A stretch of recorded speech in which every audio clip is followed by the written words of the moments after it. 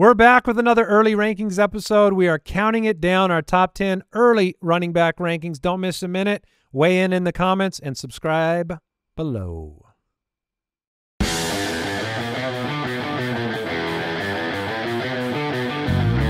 Welcome to the Fantasy Footballers Podcast with your hosts, Andy Holloway, Jason Moore, and Mike Wright.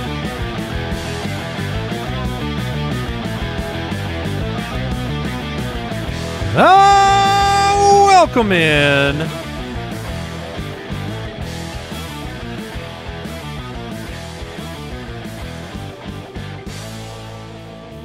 Thursday episode of the Fantasy Footballers. Jason Moore is here. Hello. Mike Wright also Hello. came to work today. I thought we were doing like a accent thing. Ah, That's an accent? Yeah.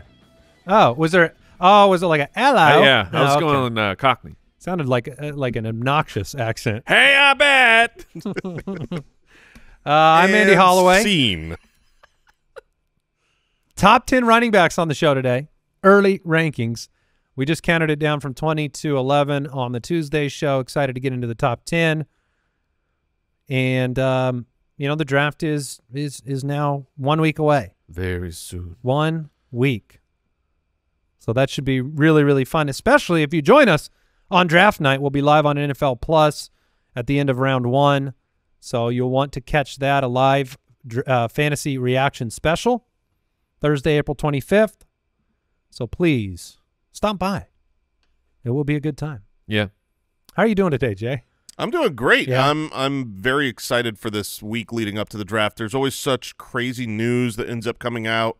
All sorts of nonsensical things leaked about players. Oh, this team is totally into this guy now. This is the week to plug them ears. Okay, plug your ears is just a bunch of smoke and nonsense Uh, until the day before. The day before the draft, then all of a sudden some real stuff sometimes gets leaked out. it's tough. I mean, uh, the stuff I don't like is definitely nonsense. Right. The stuff that I do like, it's probably true.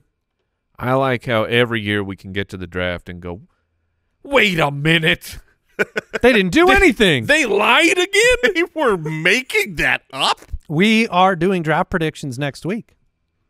Super fun. So that will be, I know you're really excited to get a bunch of them wrong again, like we all will. Well, we usually get most of them wrong, and by we I mean the entire planet. um, every mock drafter, everyone Yeah. out there, you see like the best mock drafts of all time. Just the majority is still wrong, um, but I think we do a pretty good job. The Ultimate Draft Kit available right now. It will be updated for the third time following the NFL draft. And so Dynasty Leagues with the UDK plus, you want to check that out, ultimatedraftkit.com. We do have an announcement. And dare I say, this is an opportunity to remind you why you should listen to all the episodes Yeah. because sometimes we say stuff that we only say once This is one of those moments. and we don't we don't even tweet it nope. we don't even uh, we don't email we don't tweet we don't talk about it ever again not We're- before not after We are here for our fans, and we know that you listening right now are our fans, and so we are seeking help. We are looking for new writers. We do this once a year where we uh, bring in a couple more people to the writing team. We have a great uh, group here. We were just on a big Zoom call. It's a big family last night. Um, it is an awesome uh, time writing together. We are looking for the best and the brightest. And uh, if that is you, you can go to footclanhelp.com. We are only saying this once. Uh, you can apply there. Hopefully, you have some writing samples some writing samples. it- it- here it says for Kyle's sanity, please submit a writing sample. to let us know Yeah. you can write. I would highly recommend you do that. it is the most important part of the writing job yeah, I the mean, writing We're uh, we're looking for good peoples with great football knowledge. probably around four new writers Yeah, I mean, it really depends on who applies. You know, if if five great ones apply, then we'll have five. If one great one applies, sorry, we got one. so this is the only mention of it footclanhelp.com we'll be going through all the applications uh, to join the writing staff, and that will be uh, that'll be fun. It's always uh, uh, an exciting time to meet some new people and add them to the team. Going through the submissions is one of the most fun worst times that you'll ever have. Mm. It, it's like Because you with the reading and the words, right. you're not. Yeah, Yeah. you see me. Yeah, I, I, I feel seen. Feel seen. Um, yeah, it's just there's there's Send so Jason many a video. Of you Yeah. reading your article. Yes, read me your work. Oh no, so somebody's going to do that No, now. Oh, my bad. I'm not the one always going. I check uh, a couple layers left. All right, quick question of the day: What is one dream draft pick you want to happen during the NFL draft? Anything you want for whatever reason you want. So just a dream situation.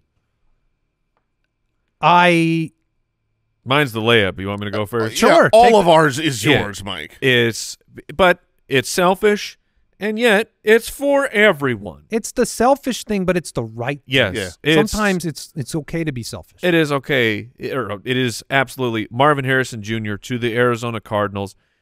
Marv is going to go early in the draft. There aren't very many teams, unless a team moves up and, and shocks us, but there are not many situations where there's a franchise quarterback. This could, he can be the number one. It can be a great offense, and it just it works out for everybody. It works out for Cardinal fans. It works out for fantasy football fans. It works out for the people who have the 101 in rookie drafts in one in single quarterback where you don't have the situation that the Patriots take him and then the Cardinals take Malik Nabers and you go, "Oh no, it's another Clyde versus Johnny Taylor situation." So let's just let this happen. Let us have this. just just play Let- it by the go chalk. yeah. The, the way that C.J. Stroud just uh, spoke from the podium yesterday about Marvin Harrison, I don't know if you guys saw this. I did not. Yeah, It- I, I did watch it. He basically just said at the end, he's like, the teams at the top, just be smart. Don't, like, Don't, don't, be, dumb. don't be dumb. Like he's clearly the best wide receiver. You know, the so uh yeah, Cardinals fans as we three are want him, but it makes sense. But I mean, they don't have a wide receiver. Right. Michael Wilson is their current wide receiver one. That's that's insane. And if you caught my song on socials, I'm going to save so much money. So much money because I will never have a need for pants. Never go back No, to that no. pants store again. I will never go. They will if be your gone. hometown team selects Marvin Harrison, your pants will fly off and you'll Yeah. never need to wear them again. Exactly. All And right, that's so important. outside of our hometown teams, the next most important thing are our personal takes.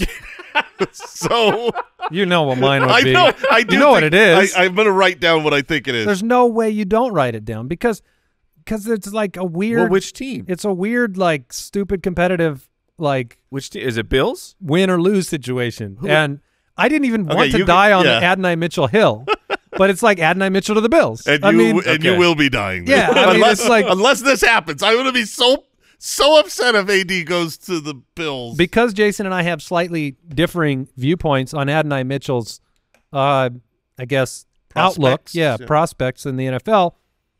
It's become a, a a fun draft day situation, and I did say to you yesterday when we were talking about it further, because I know you watched some more film on him, and then you talked about his profile, and there's, you know, there's lots of reasons on both sides. That's Mm-hmm. why players go ahead of other players for reasons, but I was like, you know how much the landing spot is going to define this so significantly, as well as not just what round, but the team. And so it's fun to have the debates. I really like Adonai Mitchell. I think he profiles to be a really impactful NFL wide receiver. I won't think that if he goes to Carolina. I will think that if he goes to Buffalo. So Yep. if it backs you into loving him on accident, that's funny to me. So that's what I'm rooting for. No, I I, I get that. and you can add the Chiefs. I mean, it could be the Bills or the Chiefs. well, mine is Troy Franklin, a player that I, I think is a very very talented Turtle. Oh, you get- I, I I think he's very talented, so I want the same thing for him. I want him to go to a quality landing spot. So I've got Troy Franklin to the Chiefs. I saw that mocked like a month ago and uh, got very excited. Let's have that happen. All right. Into the news we go. News and notes from around the league.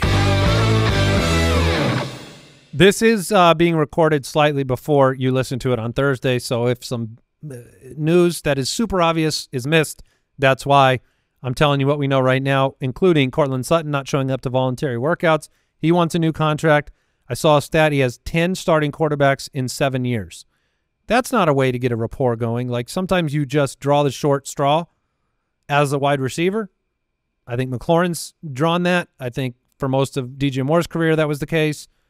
For Courtland Sutton it certainly has been. And like the two outcomes for Sutton right now are if he goes back to you know if he's happy in Denver and, and plays this year, it's like rookie quarterback or Jarrett Stidham. So congrats, Yeah. congrats on probably two more quarterbacks this year. So he's like, please pay me now. My stats will be awful at the end of the year. Yeah. So and and last year he was fifty nine for seven seventy, but he had ten touchdowns with Russell, who has always had a knack for getting the ball into the end zone. So he's a scary pick without really knowing who the quarterback is. Uh, also, the Broncos don't have like. Isn't Russell Wilson the third highest cap hit on the team or something like that? Yes. Oh no, Yeah. no, Russell's the biggest, but Sutton's the third highest right now. Yeah. So I, I mean, you you might see something restructured with him. Doesn't I, even make sense. He's I- under I contract for two more years of like It's his guarantee. He only has two million more guaranteed. yeah, I don't see them changing this. If you look at their roster and who's on the roster long term, this is a team that's going to in, retool. in two years, it will the, it will be one hundred percent Sean Payton's team from the ground up. There won't be a single holdover, so I don't I don't see any long term deal coming for Sutton. Which the last time I said that Courtland Sutton was not going to get a long term deal. Yeah. While I said that, news broke of So his the new news, contract. So the news that we That is have po- missed. that's very possible. Deucer's Alley, will you check and see if Courtland Sutton just signed an extension? We'll take a look. There is not a there's a non-zero chance that but between recording yeah. and when this oh, comes out, oh, it's out, happening. It's gonna be great. you just earned him so much money. Yeah. Um, Dolphins are planning to pick up the fifth year for Waddle, Jalen Waddle. Makes sense. He's been a very, very good wide receiver, despite our disappointment in his fantasy production versus ADP last year. He's been great on the NFL and field. a disappointment about like availability play to play. sure. That does factor into how I think about Jalen Waddle is like fragile. Even though he doesn't miss a lot of games, he somehow misses a lot of plays. He still impacts the majority of games, though, and I think that's that's what matters to the Dolphins. All right, that is all I have for news right now. And like I said, if we miss anything as of this recording, we'll pick it up on the next episode of the show. Let's jump in. Running backs. All right, yesterday we talked about, or sorry, on Tuesday, we talked about the uh, 20 through 11 as we count down the top 10 running backs in our early rankings.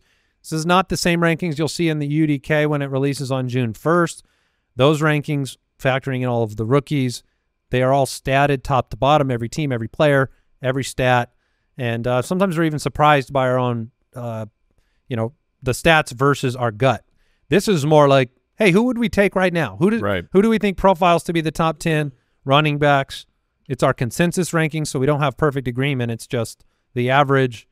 And so uh, we talked about a particular stat on the wide receiver episode, and I believe the number was about 3.7 top 10 wide receivers per year repeat as top 10 options. So year to year, there's turnover. Over the last 10 years, 2.9 running backs repeat as top 10 running backs from the previous years. Um, the most that has ever happened was five, and that was in 2020. So there were people that drafted running backs and were happier that year. But 2.9 is the average. Injuries are always a factor in that number. Um, so, you know, you can't really you don't go into the draft going like, man, I, I hope I can guess which four of these top 10 have a random catastrophic injury. And it makes sense that they're drafted where they're drafted. It's just a reality that you don't you don't build your team and and I think I've learned this so much over the last 10 years of, of this show is like you don't build your team and just like your top three picks, you're like, all right, I'm set. You know, you have to have that mentality that you just build depth and strength for your roster top to bottom, pick one through your last pick, and realize that some things are going to happen. Yeah, that's it. It kind of like this is why at the top of the draft you have such a uh, not a battle, but you know whatever a disagreement on how do I build my team because the number for the wide receivers repeating that's that's a way stronger probability that one of the top ten of last year is going to repeat. We we discussed that And- number as a bad thing. Right. We discussed it as like, look how few Slight, repeat. slightly better number. I- I mean- it's one more player. Yeah, but it- but in the game, 10%. Thirty percent more. i- in the game of probability, it's it's a it's a an advantage. But if you hit on the running back, That math is right. I'm going to let I'm tr- this I one of the w- ways I trust Jason is Yeah, no, I is do with too. this I'm weird just- math that I I, I have can't to. do. I, I can't. I gotta like think about Yeah. it. Yeah, if if But- three running backs repeat, right, two point nine, one more would be thirty percent of three. you you yeah you Yeah, tell him. whatever you tell- him, whatever man. you say, man. just- whatever All right, It's moving on, also it's on. also one more point of ten. right, but probability. Yeah. Point point being. Yep. But if you if you hit on the running back More valuable. and then they repeat, yeah, it's, it's provides way more value to your team, but the the number is lower. So do you go with the wide receiver? That that is just to me like that kind of encapsulates a lot of the the argument of do I go wide receiver early or do I go running back early? You can get into the psychology too of just like the experience you had last year is not the one you want to have this year if it went bad. So sometimes people, you know, they don't just go with the numbers; they go with the emotions. Yeah. And like if I've missed on running backs for two years in a row, maybe I'm making a pivot to wide receiver because I saw that guy that made the wide receiver pick and it worked out well for him Yep. or her. So um, I still think finding a running back is the greatest advantage in fantasy football if you hit on one early. Uh, but that doesn't mean that I am locked in. We we want to stay water. We want to see how the draft flows, and let's jump into the top ten. Number ten, Isiah Pacheco, twenty five years old. Jason and Mike, you both have him at ten. I remember going through the early rankings when we were putting our numbers in there. I was a little surprised you were both as bullish as you were. I have him at thirteen, outside the top twelve. Um, But all of us have him currently ranked higher than his best ball ADP. It's true, which is 14. So a uh, lot of opportunities, solid workload. It all worked itself out last year. 4.6 a carry, runs like he is absolutely. Uh, wait, we probably have his player Yeah, drop we- here. Yeah. The yeah, man I mean, just furious at the ground. hates nothing more in his life than turf and grass. He hates it. He is Punish it. so angry with that ground, the way that he runs. It is it is uh Stomp, stomp, stomp. man, could you imagine being like a gardener watching this man run or someone that cares for this lawn that I mean, you've got to Yeah. really have a problem with Pacheco. Unless he's aerating. Oh, very nice. Yeah, have like the big cleats on. He's just like, "Hey, Pacheco." It's his training regimen. Yeah, Is they're like, hey Pacheco, get on the field. We just reseeded. Put put on the put on the super cleats. Tear that thing up.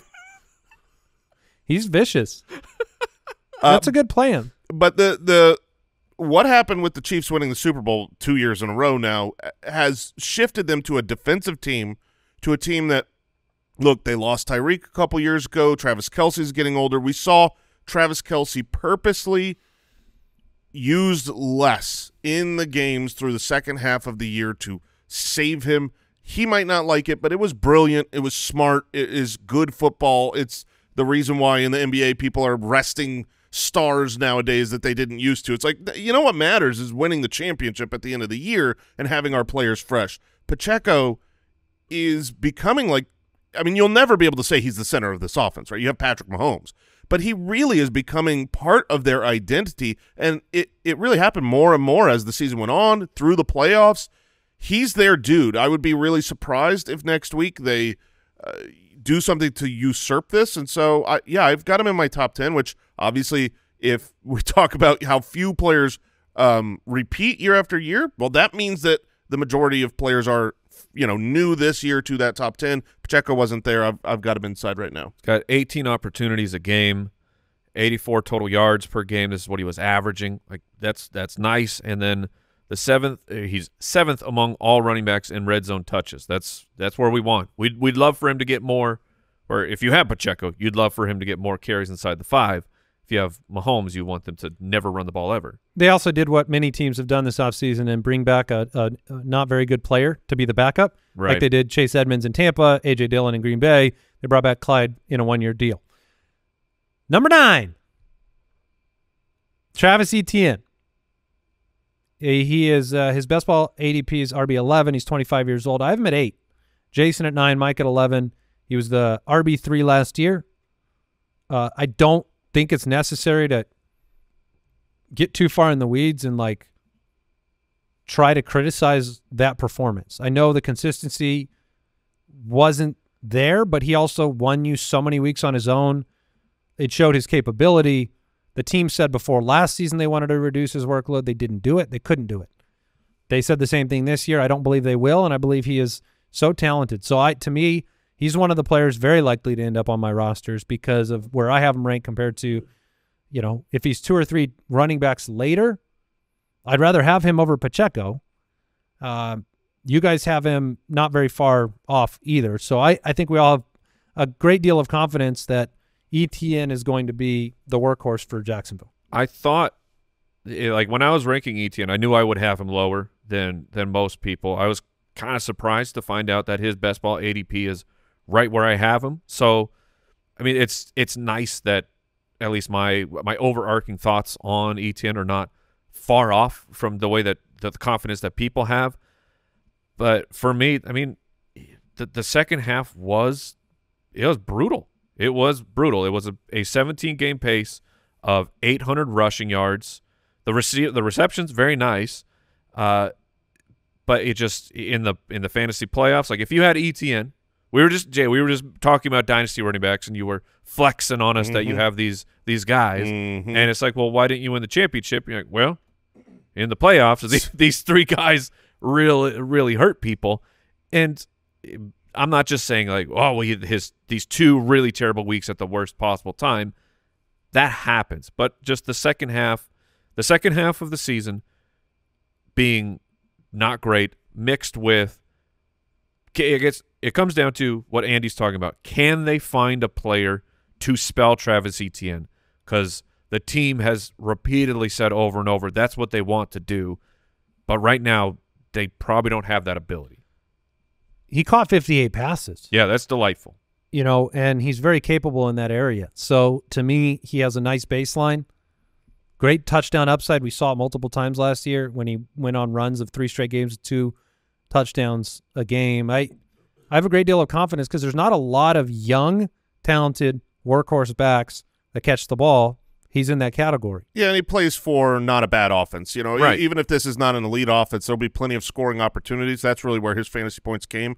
But 73 targets on the course of a season, when you take out Cal- Calvin Ridley and replace him with Gabe Davis, you expect his involvement will stay there. The running back corps uh, projects to stay the same this offseason and projects to be poopy behind him. So uh, I think Travis Etienne is a pretty safe pick with decent upside. Like he obviously, I mean, he finishes the running back three, so he's got the upside to finish in the top five. All right, quick break and back with number eight on the rankings.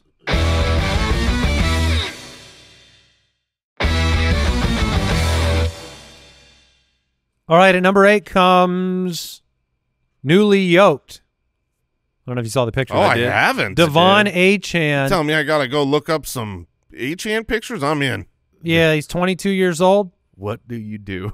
With Devon Achan Achane? is, um, I think, a player that is going to be exhilarating slash frustrating. I think that's the truth. Like if you're taking one of our top 10 running backs, there's nobody that I think I would feel less confident as my one. I, I, dude, I com- I know I have. Do you know? Uh, were I- you laughing at that, or were I- you looking I- at the picture? No, I'm laughing Okay. at that. I'm Okay. laughing at what you said because I because I am in complete agreement. I am an Achane stand. He's a nervous number one. I was like all in on Achane last year. Had him in a lot of leagues because I believed in him and the talent and all that. It was a wildly fun, awesome electric ride. I'm just so terrified, man. It's like you love Mostert. You if talked about it on the last show too. Absolutely. I, I love this running scheme. I think there's going to be a ton of points, and I think De'Von Achane's going to be great. It's basically this. If you know, and we don't, but if you know for sure that no matter how explosive a player is, he's going to miss a ton of games. If you know you're not going to have him for six or seven games, is that a good draft pick? And the answer is going to be no. The answer That's is too many. But what if but three to four? Three to four is fine because most running backs miss like the, yeah. most running backs miss two games. So, uh, you know, if he's missing three or four and he's explosive in the others, I'm totally down for that. But when I when I stare down drafting De'Von Achane, I really do have like I feel like I'm like I love this player. He's so great in the system. He's going to be great when he's on the field. I'm not confident he's going to be on the field. Six and a half games he missed last year. Three separate injuries if you include the preseason. So he missed week one, missed a four game stretch, played one um, one attempt and missed the rest of that game and then was out the following week. When he was on the field, it was explosive, it was dynamic, it was you know, must see television. He had 800 rushing yards. He ran the ball 103 times. He was. I mean, watching him, he was the most fun player to watch last make year. I- sense. him and C.J. Stroud were easily like I just could not take my eyes away. Every single time you handed him the ball and you run that little, you know, that that little zone read where he's just poof, Let me- foot in the ground and he's gone. Let me illustrate. Explosive plays. He was number one in yards over expectation per attempt. Number two was CMC, but the difference, he was at 2.87. CMC was 1.32. He averaged 7.7 every time he touched the football. And the pictures I was talking about was just that he's coming into camp having put on weight, which for him, you've got to probably needed to. You, you've got to be thrilled to see that because durability. I'm sure that that was the message of the offseason. These guys aren't aren't stupid. They want to be there and contribute every single week, and he wasn't able to do that. He probably had a lot of frustrating games on the sideline, saying, "I want to play football." So you you come back, you prepare yourself. Um, you know, if it really is a two man show without, you know, there were times last year because of injury that other players got worked in, whether it was Jeff Wilson getting snaps here and there, or uh, I think Salvon Ahmed was still a part of the situation last year, right? I, I do very much think it's going Until to be he a got two, hurt. I think it's going to be a two man show, uh, barring injuries to either Achane or Mostert. That is what they want. They want it to be a 50-50 split. So exciting draft pick. and a in a tiny little bonus nugget. he lined up in the slot. We call that an Achane nugget. Yes, that's fine. That's fine. Tiny little bonus nugget. Yeah. He lined up in the slot on 35% of his pass plays. Like that's the highest among running the highest percentage among running backs. Again, smaller sample because he missed so many games. But are you comfortable with him as your one? Oh, We we talked about it. I don't think I am. I as you're I think I'm going to watch from afar. from it would just be shifting things. You got to do the mosaic puzzle in your head of like, I'm drafting him as my one because I have to. If I don't draft him as my one, I will not get him on my team. So this other guy that I'm going to draft, maybe he's a little bit more of the consistent type of a archetype. I There will be no player I, I think I think I would do it. I like at the end, if I'm set up where I'm in kind of that range where it makes sense to to take Achane, I'm going to do it. I don't think there's a player I'd be more. There will be many players I'm more afraid to have on the opposite side of my team this year. Uh, when I, I think I had to play against De'Von Achane like three times last year because it got traded or or, or at least Mhm. a couple times, and it was like it was torture because every play could end your week. So very dynamic, exciting player that we have sitting at uh, eight. Yeah, I'm in. I'm Wait, you're back I'm in? back in. Oh, just, gosh. Just going through the like you saw the pictures. s- You, see- c- I can figure out the rest, Yeah. but you can't figure out upside like this. yeah, you really can't. He can win you. But how many weeks. touchdowns can these two guys have? Well, the the thing with Achane is Well, Achane's touchdowns are going to be Achane's or touchdowns eleven are total. going to be from outside the five. You know, Raheem Mostert when they get to the goal line, Achane's not going to be there. But but Achane can easily bring a 20, 30, 40, 80 yard touchdown all the time and that kind of explosiveness is very rare. Right now, you don't technically have to take him as your RB1. He he is being drafted as an RB1 and RB uh, as the RB8, but that's about the middle of the second round. So if you wanted to go RB RB, you could go Bijan and Achane. And you know, someone that you know has a little bit higher volume, you, you feel safer with his uh, That'd be a pretty exciting tandem. I the two numbers that are very tough is you know touchdowns, smaller guy. How predictable will they be to repeat? Especially long touchdowns, very hard to repeat. Mhm. And then the the insane numbers are not going to be the remainder of his career. He's No. not going when you get more opportunity. You're not going to be seven point seven a touch. You're not going to, you know, he even had games last year where the big play didn't happen, and he played a bunch of snaps, and that ended up being, you know, um, uh, running back 51 for a week when he was seven for 24. Um, it, you know, if he gets more work, he'll be okay, regardless of those. It's just a little bit of a gamble, but Yeah, I, I think fun in the, one. In the end, you just got to take your gamble on the on the injury. I, I do believe if he's healthy and he's active, he's going to score a lot of fantasy points for your team. At number six, we have two players that are tied there. So we'll start with uh, Saquon Barkley. It's Barkley and Gibbs. Saquon arrives in Philadelphia, and it's exciting. It's exciting to have the opportunity to see him play someplace else. He has always been such a like put it all on my back to support this offense situation. He helped people last year. He really did. It's just new home. I mean, he had he, he was he was tough. Uh, running back five, then forty six, then eight, then thirty five, then five. It was like, can he get into the end zone for a team that doesn't get to the end zone very often? He was Six on the year. Uh, I mean, I mean, when they when they lost Daniel Jones and they're playing a hodgepodge of backup quarterbacks with no wide receivers, a poor offensive line, it was like a sacrificial lamb out there. It was just Right. keep giving the ball to Saquon and hope he can do something. And and some of the every other game he did, and every other game it was like I, I'm tired, bro. Like I'm just sick of this. I'm thrilled that he's out of New York and he's playing behind. He's going from a bad offensive line to one of the best offensive lines. He's going to see giant holes um, to run through, and you've got Jalen Hurts at quarterback, two great wide receivers. I think he helps the passing game. I think the passing game helps him. The issue will always be around the goal line. You're, I don't care if you've got Saquon. If you're at the one, unless the tush push no longer works without Kelce there, which I, I still think it's more Jalen Hurts than uh, Kelce under center. I, I believe he's I- going to score like he's he's he's going to be involved in the passing game. He's going to see running lanes he hasn't seen him forever. He's going to be a workhorse running back for a great offense. I, I'm going to go on record. I have no concern about Tush Bush whatsoever. You brought him in there. There's a different type of, uh, like he's a different archetype of running back than what you've had. He's the man. Like Mhm. he's the man. Like you're last year, if they were on the two, they could tush push to the one, then tush push again. Like he's going to get opportunities.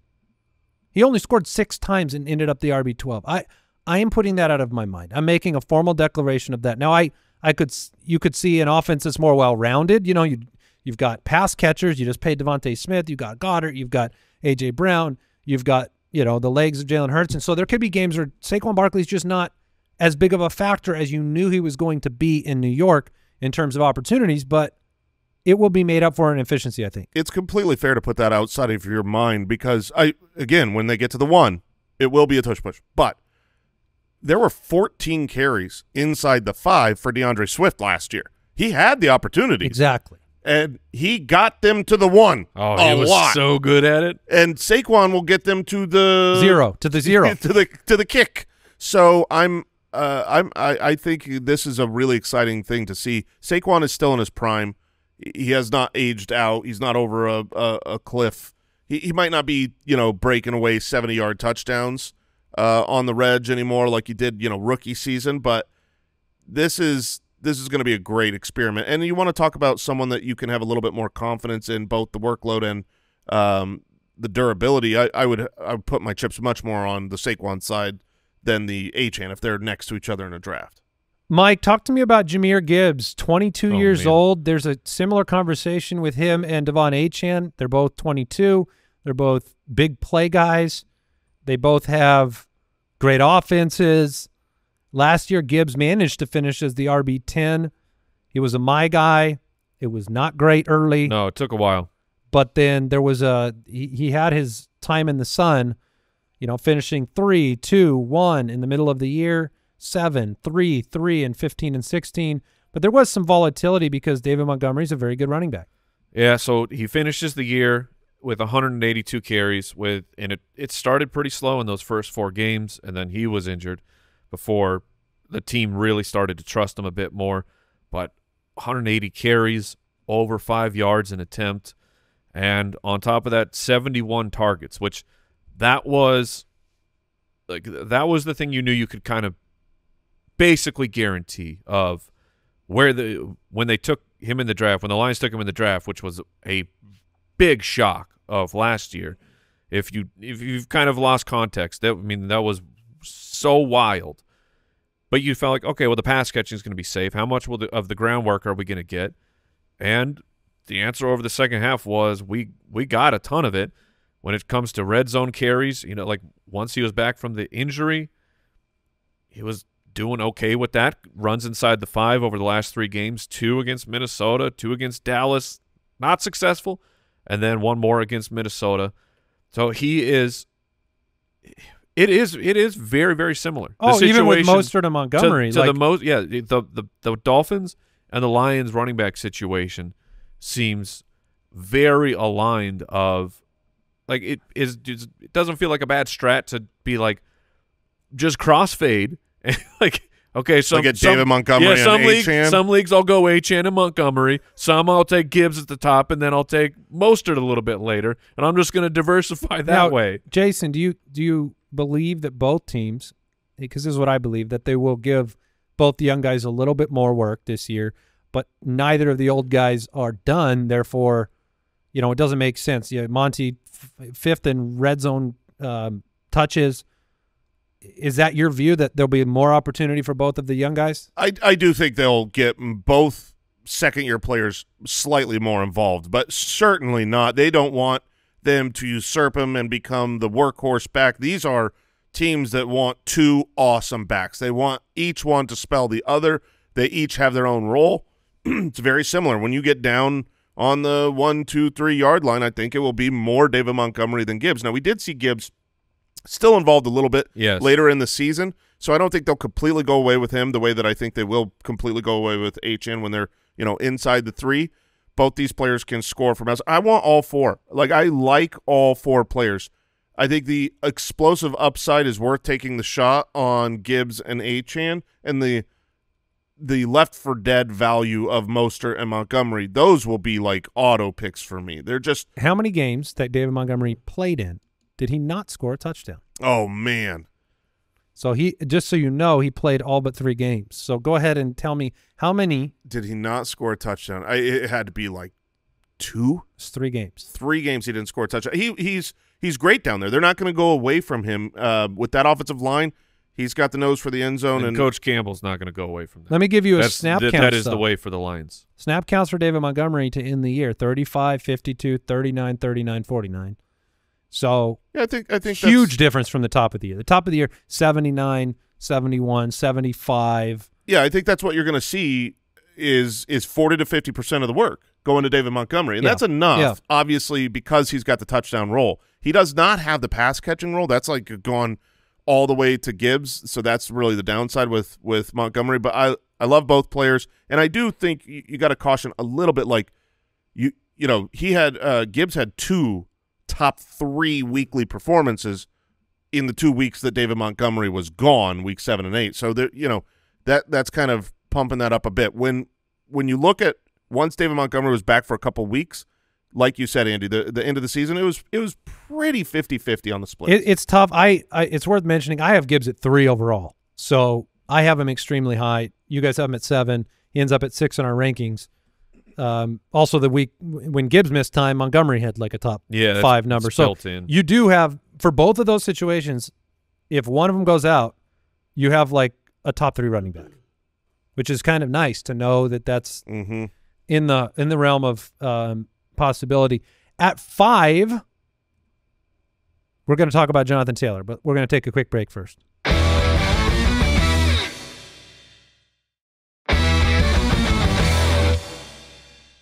All right, Jonathan Taylor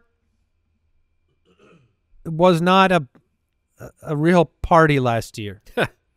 uh, it was it was a wait. It was Zach Moss emerging. It was a re-injury. It was greatness when he was out there. It was greatness with a quarterback that's no longer there. In an offense, we didn't get to. See, I mean, we didn't get to see Jonathan Taylor play football with Anthony Richardson. Like Yeah. we've still we're still waiting to see that, right? Yeah.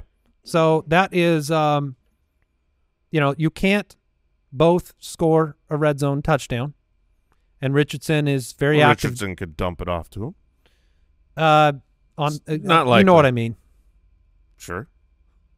You're saying You're- that you're- like you a, say- a rushing. You know what I meant? They they can't both run in a touchdown on the No, goal but- line. I mean, well, no, the, I genuinely the way you said that, I was like, they they can they can both score a touchdown. Down This there. guy. anyways, um, Jonathan Taylor ended up with seven touchdowns last year. Um missed with a thumb injury weeks 13 to 15, and then the first four weeks with contract fun. I think we all know the talent of Jonathan Taylor.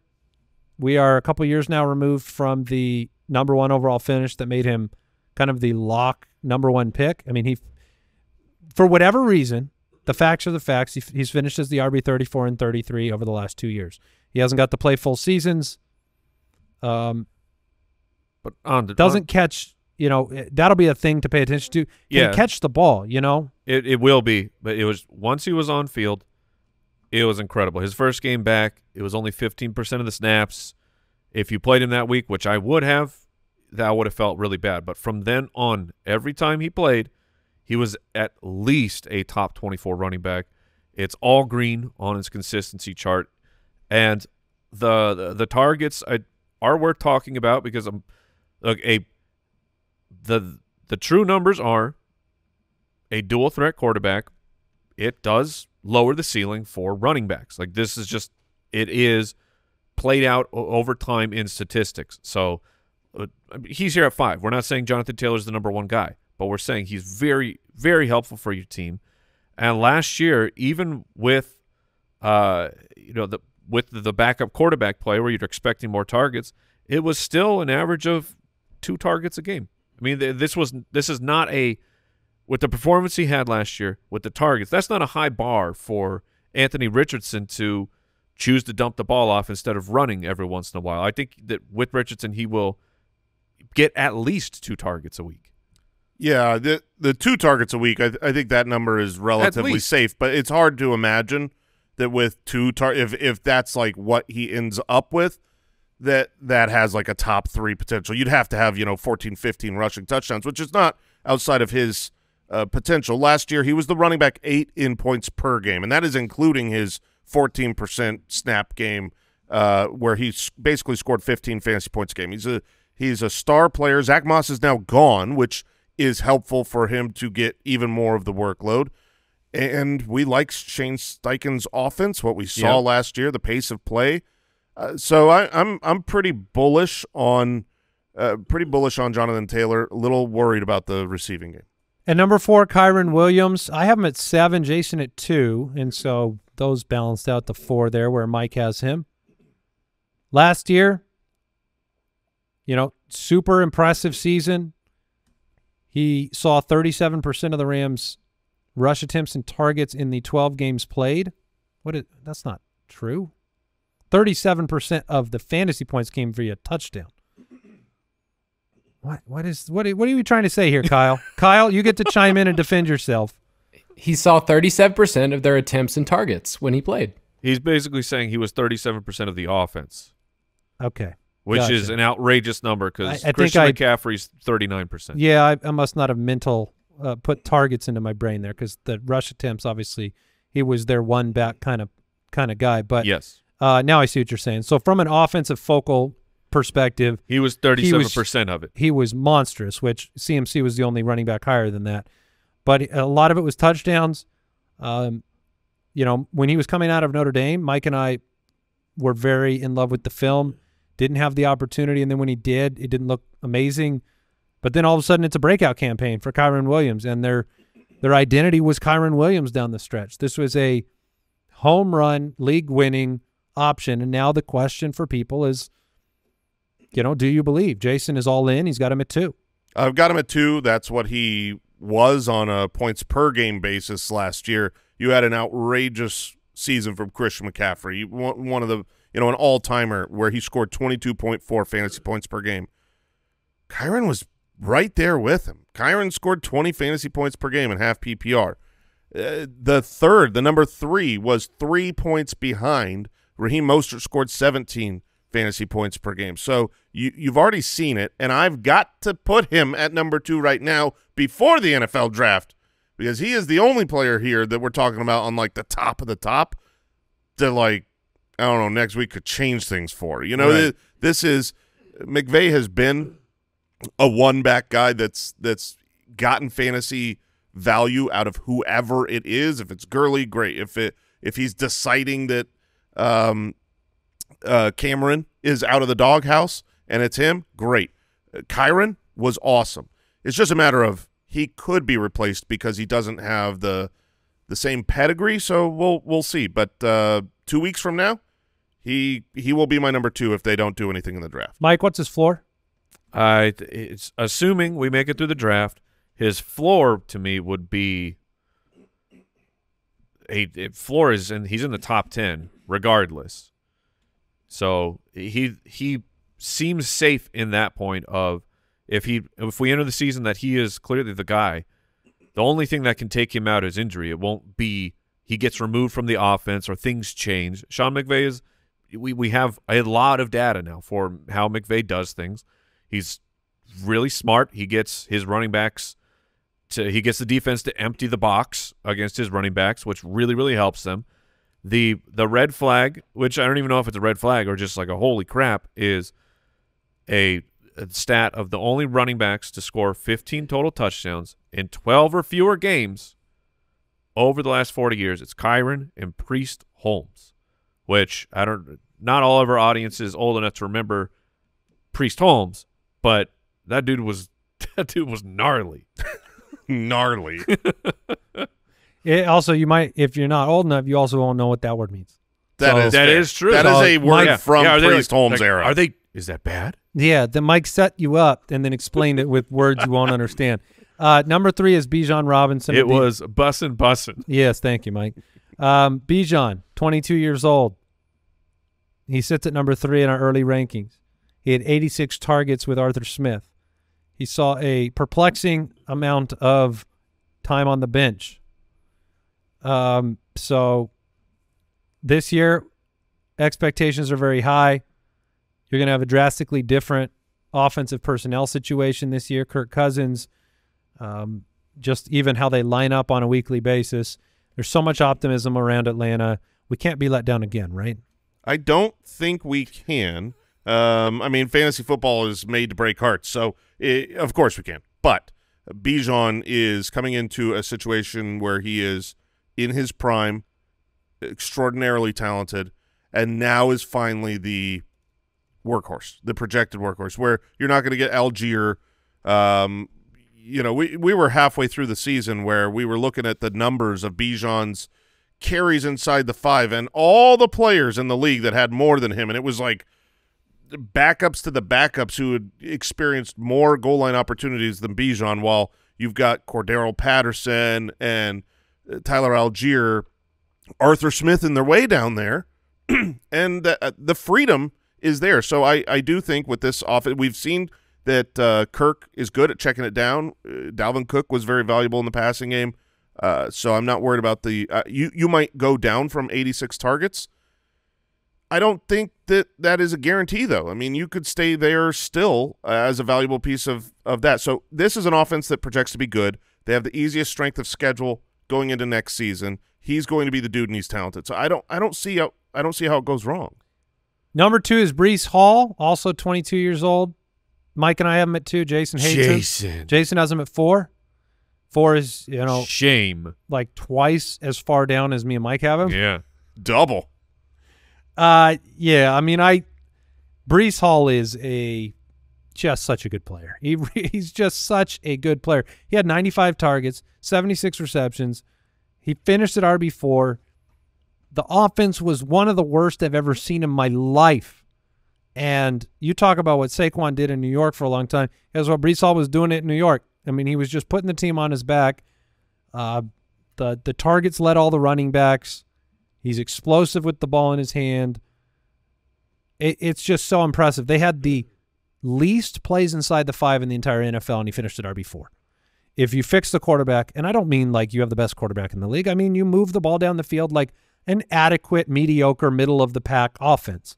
If you can just do that, you won't be 31st in red zone plays. You won't be 32nd inside the five. You won't be 29th in points per game. You know, this was with a offensive line that ranked 27th. So you basically stacked everything against Breece Hall known to man, and he said, well, at least just throw it to me and I'll figure it out. That was the plan. That, That- was a lot of the time is, hey Breece, what? Yeah, what's the what's the play call? The call is Breece, do something.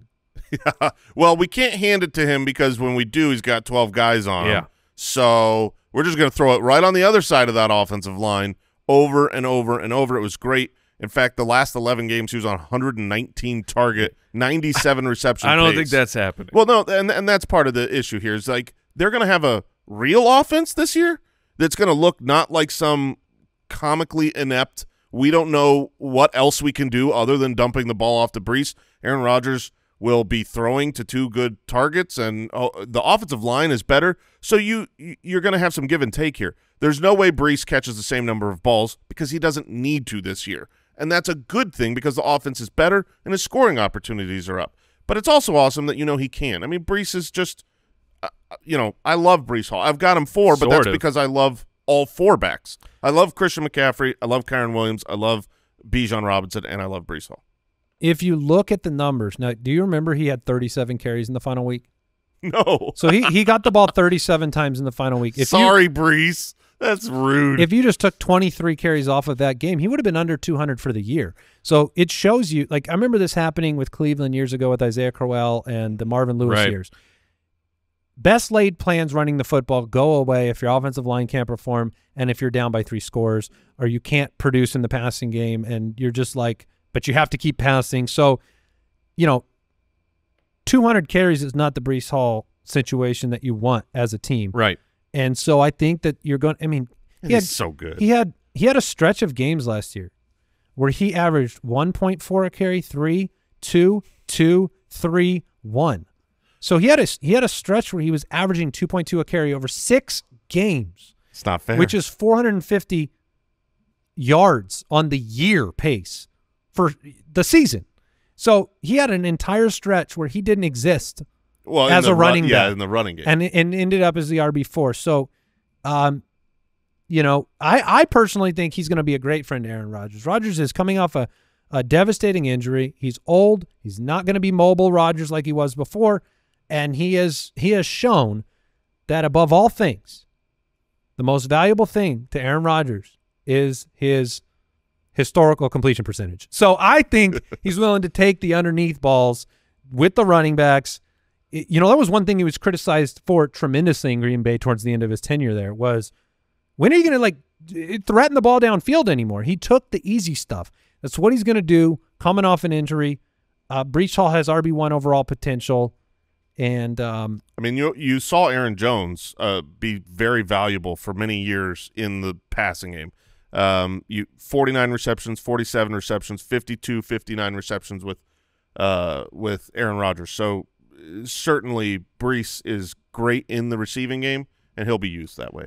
And then a player that needs no introduction, Christian McCaffrey sits at number one overall, finished at number one overall, had 1,500 rushing yards, had, uh, what is that, 21 touchdowns, seven Uh, through the yes. air, 14 on the ground. Had that incredible run of consecutive games with a touchdown. So, you know, you talk about consecutive, um, what does he have? Running backs with multiple seasons of 24 plus PPR per game, Which that's outrageous. That- which is insane. He's, he's, man. He's broken. He's, he's broken the game. Well, he went to a situation in San Francisco yes, he did. where common sense prevailed. Like Kyle Shanahan was like, he like did the fantasy thing. He said, "All right, I'm a run. I love running the football. So who's the best guy at that? All right, okay. I, I I need to be able to pass it to my back. Who's the best at that? Okay, let's just trade stuff for him. All right." And then when you get him, uh, let's use him like we traded a bunch of stuff for him. Like, every every play. I mean, it, it and it doesn't fail. Like it, it's just right now you can't put anybody else above him. Um, he would have been the RB five on the season if you only used his fantasy points from first down. That's uh, Shout out to Borg, uh, Borgogan for that hot stat. he had four games last year where he wasn't an RB one. And, and don't hear what I'm not saying. He was still an RB two in all four of those games. But there were only four times he wasn't an absolute week winner for you. He's I mean, there's- we Invulnerable. we- he's invulnerable. Well, He's gone down to injury a couple times. Well, when on the field, Yes. he's, he's as guaranteed for production as you can get since maybe LT. he's got to be the 101 in every draft. Uh, he's just too valuable as a Niner. You've got a good offense. He's I unstoppable. He's still 27 years old. Like when you're talking about a guy with this kind of work ethic and the, the age cliff, you expect to be around 30. Yeah, And for so- that kind of a production. Yeah. Dude, I saw a a a reel of him talking about, you know, the just how insane his his work ethic is, and like basically essentially what his father Yep. is like. Yep. Hey, you want this? Is what you want? Okay, we're trained. This we will train for you to become elite NFL. It was the one where he was talking young- about his diet and everything. Yeah, like uh, just how regimented his diet is. In high school, it was you're in bed at seven thirty. It was he had said had no there- life. There was there was one game where uh, your social life is pretty tough with that. Uh, he's like uh, there was one game he had in high school and he cramped up, and his dad's like, okay. I got your this. That will never ever happen again. Yeah. because of this. You're never going to eat that the day because before. of this hydration plan. It was, it was. You're like, okay, I, I see it. I, I get it. You committed everything He's a to being psycho. this player. He's he's the number Yeah, one. I couldn't do it. He's the number one pick in fantasy, and and generally what I like to do is I don't even put him in the draft pool. I just put him on my team, and then we do the draft. Oh, that's brilliant. You know what I mean? Just Yeah. keep. I I don't even because it's, it's disrespectful to have him be drafted one. He just he should He be needs- pre-drafted. He's a pre-draft. He's a pre-drafted, and so I I generally as the commissioner I'll just put him on my team, and everyone's cool with it, Yeah, right? I I like the idea that you just make the pick for everyone though. Yeah. If you have the first pick and you show up, you click enter draft from it. You why start with why is McCaffrey on my team already? No one gets the first pick this year. No, it's. I agree with Andy. No one gets it. And I look, it's a lot of uh, it's a lot of great words for a guy that you know was the number one pick when he got hurt and missed time, and you know that can always happen. And three point seven of them repeat, and McCaffrey could get hurt. But this is a player that you can't you cannot predict random injury, but you can predict, you know, how hard a player works, how many how he, his body is held up to a huge workload for multiple years. Like, you know, th- this is just as guaranteed as it gets in fantasy, and you don't need me telling you that. So. That's our top ten running backs. Let me run. Let me run it back. Pacheco at ten, Etienne at nine, Achane at eight. Then you had Saquon and Gibbs tied at six. You had Jonathan Taylor um, sitting at five, Kyren at four, Bijan three, Breece two, and McCaffrey one. Do you want to repeat what we said at the top of the show, or would you rather not? You're talking about uh, looking for writers. Yeah. Uh, if they go to footclanhelp.com and apply, I don't want to repeat it again. Okay. Just let's leave it at the top. All right, let's close it down. That'd be gnarly, though, if we got some guys. Thanks for joining us. Catch you next week. Goodbye.